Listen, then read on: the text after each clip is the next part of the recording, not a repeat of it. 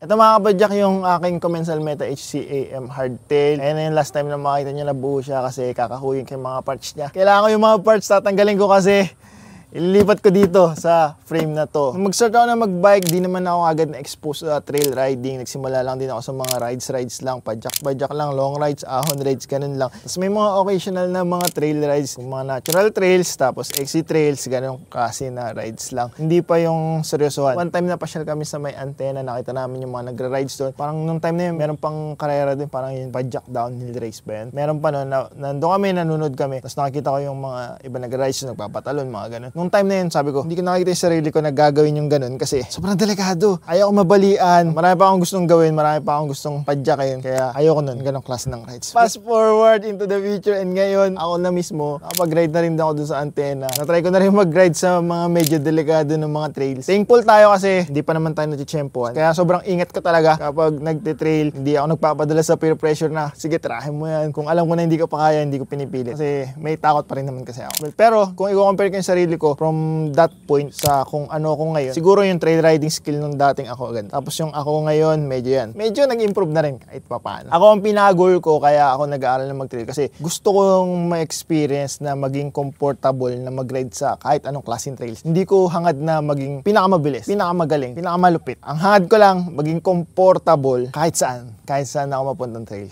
na i-ride. Yun lang. Ako happy na ako. Ano ba ang next chapter netong bike na to? Itong bike na to yung tumulong sa akin para mas i-improve ko pa kung ano yung ganyang kaliit na trail riding skills ko. Siyempre, alam niyo na siguro yon. Nakakatawa lang kasi nung wala pa sa akin to, si Nardo, nung pasyal ko dun sa bike lane Alaba, pinicturean niya ako na hawak yung frame na Commensal Meta HTAM. Parang ano lang, trip-trip lang, biruan lang, kunyari sa akin, kahit hindi. Parang magic, nagkaroon ako ng Commensal Meta HT. Ang ginagawa tuloy namin, kapag nagkukulitan kami, nagpipicture-picture kami sa mga bikes, sa mga frames na kunyari, ganito, kunyari sa amin. Ganun. May isa nagkatotoo na naman sa mga ganun trip-trip lang. Ito yung picture ko nung pasyal ko isang beses sa bisikleta buwing biyahe. Nung time na yun, sabi ko, pag-ipunan ko tong frame na to. Meron naman talaga ako iniipon na parang pambili ko sa bago kong frame. Pero medyo challenging yung times ngayon. Kaya hindi rin magawa na instant even though may extra, ganun, may budget. Kaya sabi ko, kapag yung frame na yun, andun pa, hindi pa nawawala. Pag dumating yung time na ready na ako na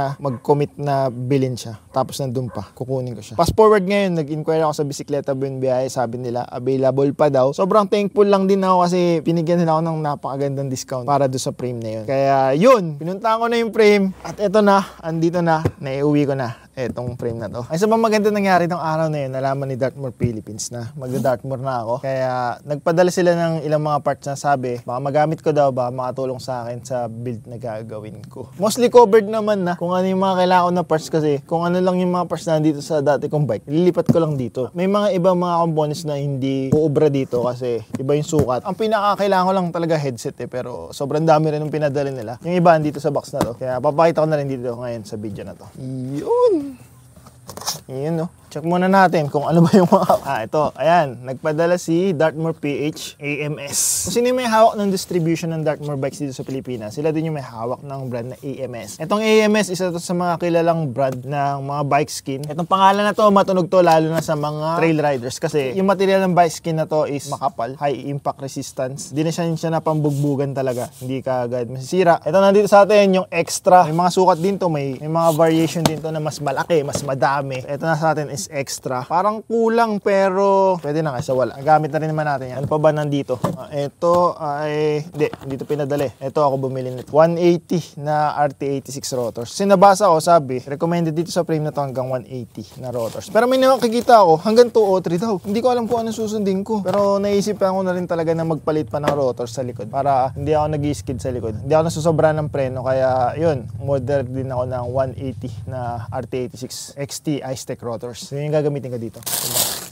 Ito ay bigay ni Bisikleta Buwin Biyahe. Jersey ng Bisikleta Buwin Biyahe, sabi nila, ito daw is freebie sa mga bibili sa kanila ng bike. Ewan ko lang kung pati frame. Binigyan nila ako. Thank you, Bisikleta Buwin Biyahe. Bisikleta Buwin Biyahe, isa sila sa dealer ng Dartmoor dito sa atin. Kung naghanap kayo ng mga Dartmoor frames, pwede kayong mag-inquire sa kanila. Alam ko nakasil sa kanila eh, yung mga Dartmoor na mga frames. So, ito naman is Dartmoor na saddle. Ito gagamitin natin. Meron din pinadala sa akin na mudguard. Dartmoor, pero si AMS yung gumawa, all mountain style mudguard, yan. Pero baka hindi ko to gamitin kasi yung fork ko kasi meron na siyang nakakabit na fender. Kung meron may gusto sa inyo, nito, comment nyo lang sa baba. May isipan ko ipamigay eh. Ano yung mga hindi ko gagamitin. Eto, pinadalan din ako oh, ng seat clamp, Dartmoor seat clamp. Ito na ba gamitin ko o yung Hope. Iisip ko kung ito o Hope gagamitin ko. Ito yung mga hardware ng frame para sa cable. Grommets, cable guides, clips, handlebar, Dartmoor Tornado na handlebar. 780 millimeters.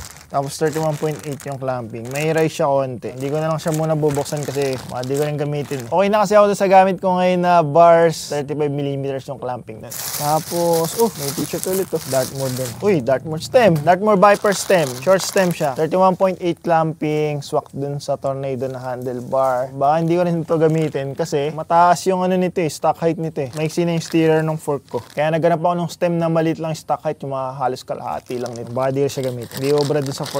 Dartmoor ulit. Dartmoor Vibe Pro. Pedals. Yan. Flat pedals si Dartmoor. Pag-isipan ko kung gagamitin ko to or stick pa rin ako dun sa XT pedals ko. So, syempre, Dartmoor gumawa ng pedals na to. Expected mo dito pambaragan din to. Ano pa ba? Wala na. Yun lang. Tsaka meron pa pala nito. Ito, yan. Hindi nakalagay sa box kasi hindi kasha. Ito is Dartmoor Patrol na rims. Mga hindi ka na siyang tanggalin. Hindi ka muna siya i-unpack kasi gagamitin ko muna yung current na wheelset ko din. Anong gamit ko dito? Yung muna, yung wheelset. Hindi muna to. Natamad pa ako maglipat ng rims sa hubs na gamit ko ngayon. Okay, dito na tayo sa main event. Ano yung frame? Hulaan nyo. May hula kayo. Lagay nyo sa comment section. Oops, teka lang, may nakalimutan pala ako. Ito pa pala, di ko nakita. Ito yung Dartmoor Blink headset. Ito yung headset na swak para dun sa frame na gagamitin ko. Kulay gold, oh. Coated yung bearings niya. Pagkakalam ko dito, may corrosion protection siya, kaya siya ganyan. Hindi siya basta kalawangin. Siyempre, itong headset na to, design para sa mga bikes ni Dartmoor. Kaya pambaragan din yung headset na to. Ay, dito na ulit. You know, ito mga padyak yung Dartmoor Blackbird 29er. Ito na yung magiging bagong frame ko. Ilipat ko lang yung mga parts nito. Lalagay ko lang dito. Tinespit ko lang yung chainstay protector ko dito. Kaya nakalagay yan dyan. Una muna, bakit Dartmoor? Yung Dartmoor na brand, may solid na reputation na rin naman yan. Pagdating sa extreme side ng mountain biking, isa yan sa sikat na pangalan na makikita mo. Na halos karamihan ginagamit yan kapag mga enduro races, mga downhill race. Aggressive trail riding. Madami kang makita ng mga naka-Dartmoor na frame. Sikat nila yung Primal, yung Hornet, Bluebird, pang trail, Blackbird, pang enduro. Hindi lang doon, sikat din sila sa mundo ng dirt jumping dahil doon sa 2.6 player nila. Bakit Blackbird? Si Dartmoor meron siya nung Bluebird na mas shorter travel for trail. Gusto ko at least kasi 160-160. Yung Blackbird yung basok doon. Ito talaga yung pang enduro nila. Ito yung napili ko kasi I think ito na yung best value full suspension enduro bike na pwedeng mabili ngayon sa market natin. Kapag kasi bibili ka nung from ibang brands, nasa 100k above na yung kasunod nito. Yung iba, nasa 100k plus plus, wala pang rear shock. Ganun yung price. Ito, SRP nito nasa 70k. May rear shock na nakasama. Pwedeng wala, mas mura. Pero ngayon, alam mo naka-sale to. Nasa 60 or below pa nila binibenta ngayon. Na may rear shock na nakasama.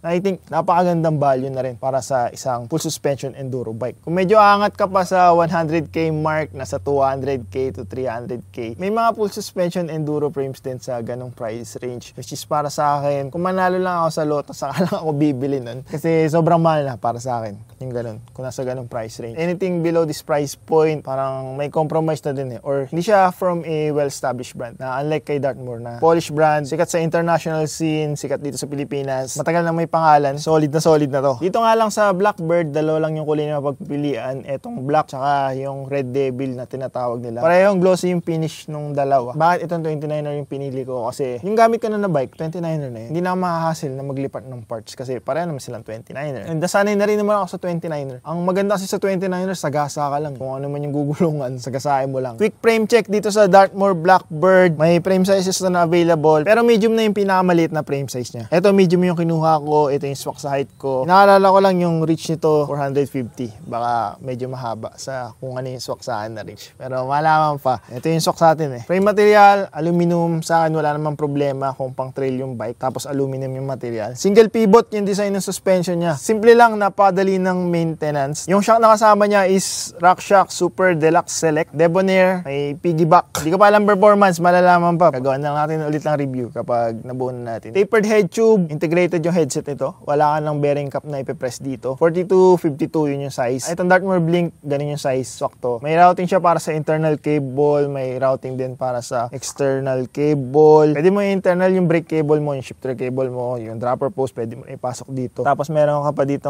sa labas kung alam man yung nasa labas na gusto mo. May freedom ka kung anong style yung gusto mong gawin. Ang hindi ko lang maintindihan dito, dito sa kabilang side, wala siyang butas para sa internal cable routing ng dropper. Parang mahiwaga pa rin sa akin yung cable routing, hindi ko pa rin magets. Pero siguro, mapipigure out natin pag inassemble na natin kung paano ba yung discard sa cable routing net. BB niya, threaded. Yun yung maganda. Threaded na yung BB. Hindi press fit. Mas okay para sa akin kung naka-threaded yung BB. Ang dali ng maintenance. Tapos meron din siyang mount para sa IACG 05 na chain guide or bash guard kung gusto mo siyang kabitan, pwede. 30.9 yung seat post size nito. Yun lang yung malungkot, hindi ko magamit yung dati kong dropper seat post kasi yung frame ko kasi dati is 31.6 so hindi siya kakasya dito kasi mas maliit yung seat tube nito. Hindi ko magagamit yun, hindi ko malilipat. Uh, inisip ko ba kung meron ba akong dropper na pwede magamit, parang wala ng 30.9. So, bahala na. Dito sa ilalim, meron na siyang nakadikit eh, na parang frame protection na makapal. Dito meron, hindi lang halata, pero meron nandyan. So, ito kasing ilalim yan, lagi yung tatamaan ng mga tumatalsik na bato, mga ganun. So, meron siyang kasamang frame protection dyan. Pero kakapitan pala rin natin, lagi ko pa rin dyan yung AMS. Lagi ko dito. Kahit na sabihin na MTB yan, magagasgas at magagasgas talaga yan. Huwag mong gamitin para hindi magasgas. Kung may kakayanan ka naman na lagyan ng frame protection, eh, di lagyan mo ng frame protection. Para ma-preserve mo yung condition niya, para hindi ka iyak sa gas-gas. Rear hub spacing, boost. Swak yung wheelset ko dati dito, boost na rin naman yun. Check natin yung weight. Sa akin, hindi naman importante yung weight, lalo sa mga ganitong klase ng bike. Pero check na rin natin para malaman nyo kung gaano kabigat ba yung ganito. Weight kasama yung rear shock, 4.18 kilograms. Medyo malaki yung weight difference kung i-compare mo sa isang hardtail. Pero syempre, full suspension yan. Mas marami pa siyang extra parts ng frame. Tapos, itong rear suspension, nakadagdag din sa bigat niya. Yung mga nagbobo naman ito, hindi naman pag-aanan yung laban sa ganito. Pati bayan. And mga kapadyak, yung Dartmoor Blackbird, ito na yung bago kong frame for 2023. Excited na rin ako matry ito, masubukan. Thank you sa Bisikleta Buenbaya sa pagbigay ng napakagandang discount dito sa Dartmoor Blackbird. Thank you din sa Dartmoor Philippines kay Sir Jason sa pag-provide ng mga parts na magagamit ko para sa build na to. May ongoing sale promotion si Bisikleta Buenbaya ngayon kung hindi nyo pa napanood yung video. Check nyo na lang dyan. And kung gusto nyo makita yung updated bike, check ko dito sa bike na to bago siya kalasin. Ayun yung video, panoorin nyo na lang din. That's it for this video. Ride safe mga kapatid.